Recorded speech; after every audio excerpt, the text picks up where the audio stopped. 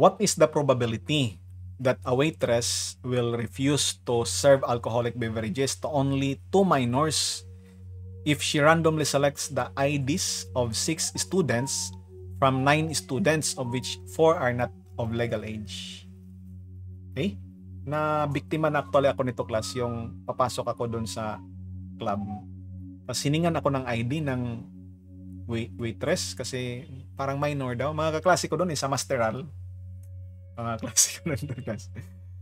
Alam, alam na yung pan. Ganun talaga. Ah, nasanay na lang ako ng ganun class na pagdudahan ako na minor. Har har.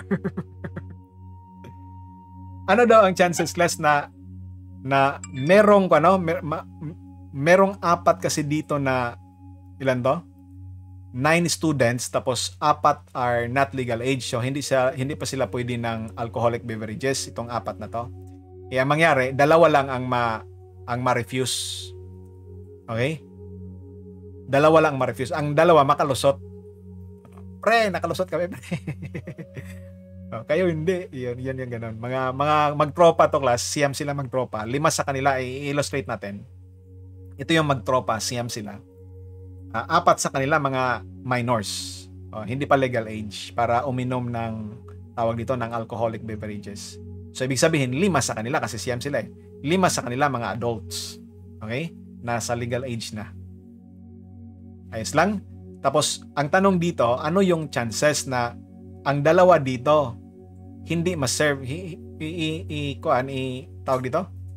Hindi is-serve ng, i-refuse pag-serve ng alcoholic beverages kasi na, na-discoveryhan sila na minors. Ibig sabihin, nahingi yung kanilang ID. Kasi ID yung pinag-usapan dito eh. Yung waitress kasi dito, hihingi lang ng anim na ID, hindi sila hiningan lahat. O ID kayo lahat, kahit anim, pwede na yan. Kaya anim, nung kinuha class, uh, na, na, na, nakunan yung dalawa dito. Di ba? Dalawa dito. Tapos, natural, anim ang kinuha, apat dito ang kinuha class. Okay? Apat ang, apat ang nakunan dito ng ID. O, tingnan natin class. Ano ang chance na yon? Kukuha tayo ng anim. Okay? Out from 9. Paano yung gagawin? Yun yung total number of ways. 9 choose 6. Total number of ways. Kumuha tayo ng 6 galing sa Siam na ID. Tapos, nangyari na sa 6 na to, dito nakuha yung dalawa. Di ba?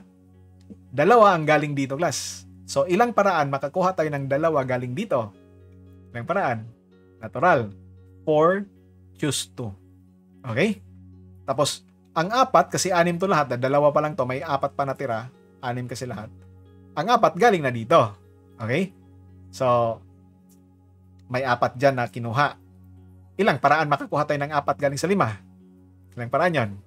That will be 5, choose 4. I-multiply natin yung class. Sir, bakit multiply? Dependent. Okay?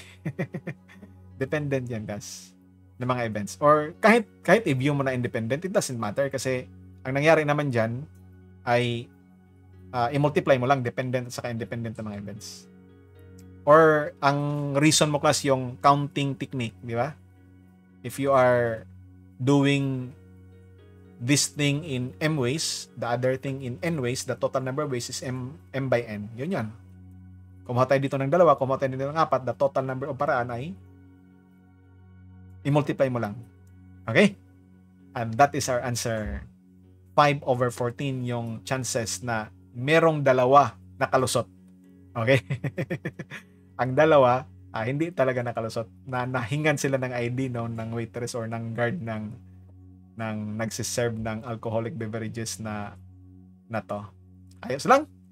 Chicken joy, baby. Har, har, har, har. Thank you for watching. I hope you learned something. Have a good day. See you in our next video. Bye-bye.